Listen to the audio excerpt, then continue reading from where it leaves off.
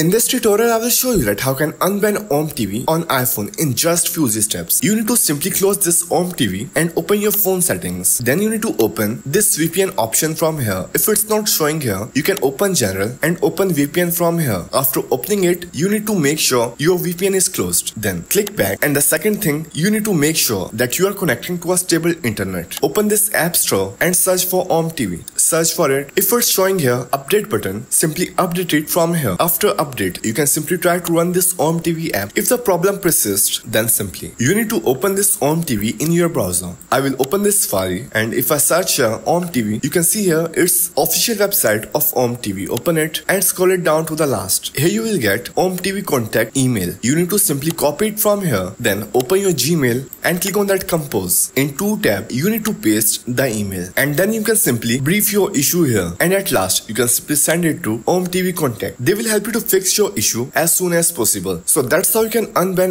Om TV on iPhone in just few easy steps.